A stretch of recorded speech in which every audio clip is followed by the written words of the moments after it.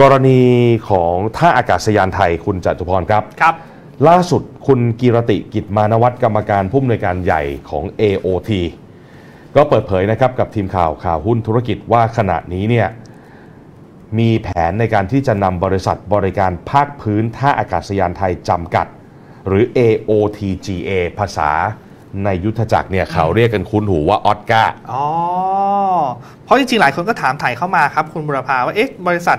AOTGA เนี่ยเกี่ยวข้องกับอะไรกับ AOT หรือเปล่าอืมเพราะดูชื่อตัวสะกดคล้าย ๆ กันครับแค่เติมคำว่า GA ต่อท้ายเข้ามา ทางคุณกิรติก็ระบุว่าจะเอาออสการ์เนี่ยแหละเข้ามาจดทะเบียนในตลาดหลักทรัพย์แห่งประเทศไทยนะฮะ ภายในปี 2568 ก็คือปีหน้าอืมทั้งนี้ออสการ์เองก็มีแผนในการจะเข้าประกวดราคาเพื่อรับงาน 2 โครงการใหญ่ในปีนี้ มูลค่านะครับรวมกว่า 67,000 ล้านบาทประกอบด้วย หนึ่งนะครับโครงการให้บริการลานจอดและอุปกรณ์ภาคพื้น ท่าอากาศยานสุวรรณภูมินะครับของผู้ประกอบการรายที่ 3 วงเงินเนี่ยอยู่ที่ประมาณ 29,390.76 ล้านบาท นี่คือโครงการที่ 1 ที่ทางด้านออสการ์เนี่ยก็มีแผนจะเข้าประกวดอืมส่วนโครงการที่2นะครับคือโครงการให้บริการคลังสินค้า หรือว่าคาร์โก้นะครับท่าอากาศยานสุวรรณภูมิของผู้ประกอบการรายที่ 3 วงเงินอยู่ที่ 37,914.56 ล้านบาท ซึ่งหากออสการ์นะครับได้รับงานทั้ง 2 โครงการดังกล่าว จะทำให้มีรายได้เข้ามาหนุน การเติบโตของธุรกิจอย่างต่อเนื่อง จึงควรมีการเพิ่มทุนเพื่อรองรับการเติบโตดังกล่าว ดังนั้นนะครับจึงมีแผนที่จะเข้าจดทะเบียนในตลาดหลักทรัพย์ซึ่งถือว่าเป็นทางเลือกที่เหมาะสมอืมในการที่จะเข้ามาระดมทุน แล้วก็ใช้ผลิตภัณฑ์ทางการเงิน ในรูปแบบต่างๆ ในการระดมทุนต่อยอดธุรกิจของบริษัท ก็ถือว่าตรงไปตรงมาอืมระดมทุนเพราะมีโปรเจกต์ต้องลงทุน ใช่ ใช่ไหมฮะ ใช่ครับ อันเนี้ยมันก็ทำให้การระดมทุนผ่าน IPO มีความสมบูรณ์แบบ คุณจตุพรคือถ้าบริษัทไหนระดมทุนผ่าน IPO นะฮะอาจจะมีแผนลงทุนเอ่อบ้างในบางส่วน อ่า บางส่วนเอาไปชำระคืนหนี้ครับหรือดีไม่ดีมีการเอาหุ้นเก่าออกมาขายใช่ เอ่อแบบนั้นเนี่ยไอ้มูลค่าเพิ่มที่มันควรจะเกิดขึ้น ต่อตัวหุ้นนั้นๆ ในตลาดรองเนี่ยมันก็ไม่สามารถเกิดขึ้นได้อย่างเต็มเม็ดเต็มหน่วยใช่ไหมฮะแต่ถ้ามีแผนชัดเจนเลยว่าเดี๋ยวมันมีการประมูลนะสองโครงการนะในปีนี้ 67,000 กว่าล้านครับอถ้าได้มามันก็ต้องมีการลงทุนครับฉะนั้นก็ต้องไประดมทุนมันลงทุนถูกต้องแต่มันตรงไปตรงมาวันออนวันแบบนี้ครับนะฮะมันก็ทำให้สามารถคาดคะเนถึงมูลค่าเพิ่มที่จะเกิดขึ้นในอนาคตได้ง่ายอืมนะฮะซึ่ง IPO ของออสการ์เนี่ยผมว่าจะเป็นหนึ่งใน IPO ที่น่าสนใจที่สุดครับและน่าจะถูกพูดถึงมากที่สุดด้วย ใช่ครับ เพราะอย่างที่บอกว่าออสการ์เองก็ถือว่าเป็นที่จับตามองนะครับในเรื่องของการบริการภาคพื้นอืมที่เกิดขึ้นในปัจจุบันนะครับ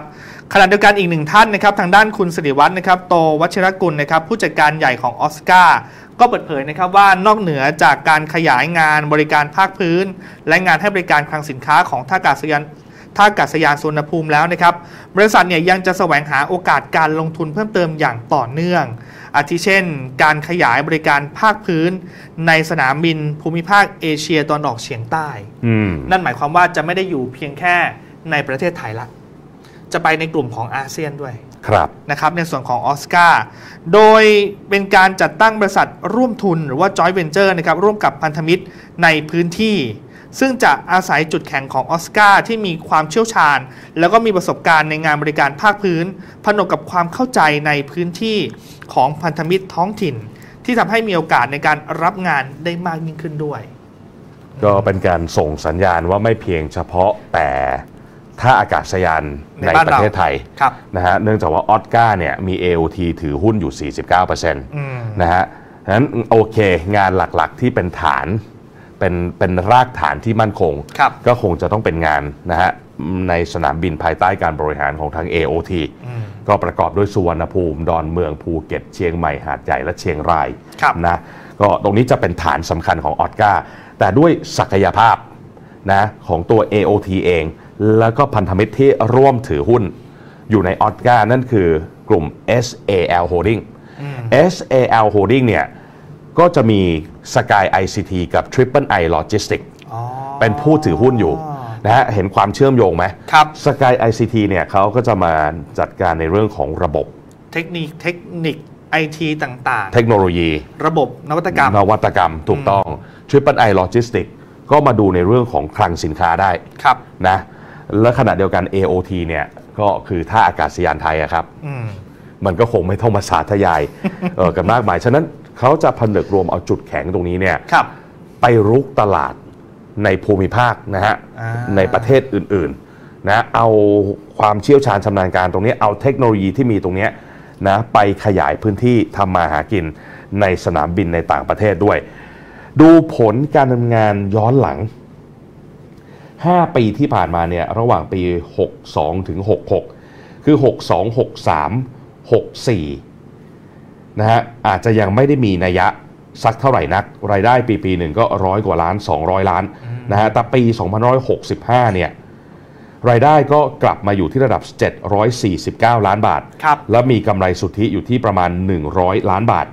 ขณะที่ปี 2566 ตรงนี้โอ้เริ่มที่จะก้าวกระโดดไหมฮะก้าวกระโดดฮะอืมรายงานตัวเลขรายได้ 2,515 ล้านบาท มีกำไรสุทธิ 627 ล้านบาท นะคือปี 62 63 64เนี่ยมันอาจจะมีเรื่องของโควิด -19 ไงคุณครับจตุพรใช่ไหมครับแต่ทีนี้พอสถานการณ์เริ่มกลับมาเป็นปกติเนี่ยออสการ์เองปัจจุบันแม้ว่าจะยังไม่ใช่ผู้ให้บริการภาคพื้นหรือว่า ground service รายที่ 3 อย่างเป็นทางการ เพราะเดี๋ยวมันต้องรอประมูลอ่าอ่าแต่ด้วยความเพียบพร้อมของออสการ์นะฮะปัจจุบันนี้โอเปอเรเตอร์รายที่ 1 คือการบินไทยครับโอเปอเรเตอร์รายที่ 2 คือ Bangkok Airways อ๋อนะฮะเอ่อ ในส่วนของ BA เนี่ยเขาน่าจะ sustain ในตัวเขาได้แต่ TG อืมคือการบินไทยครับนะก็ยังต้องมาซับ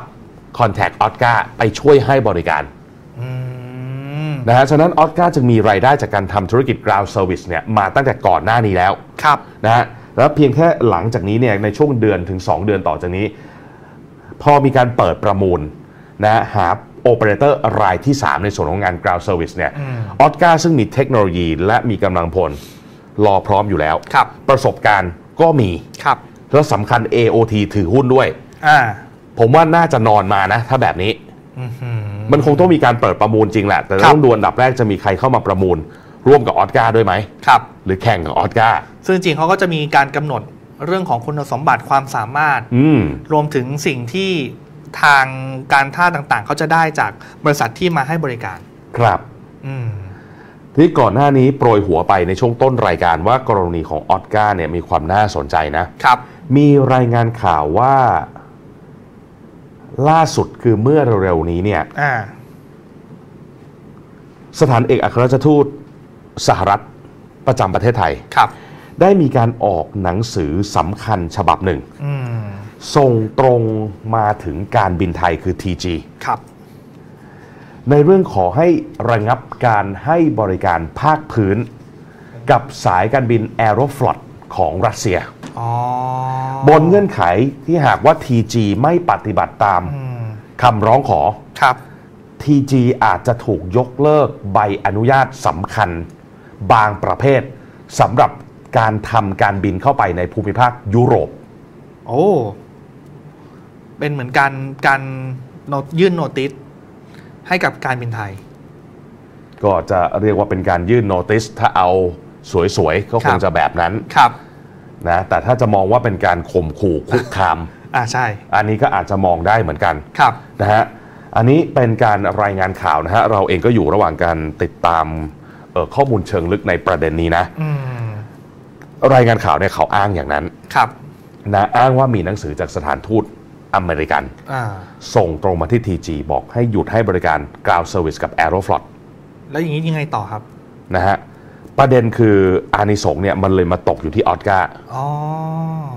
ว่ากันว่า TG ก็ต้องร้อยท่อต่อสายตรงครับมาที่ออสการ์อืมเพราะอย่าลืมความสำคัญของนักท่องเที่ยวชาวรัสเซีย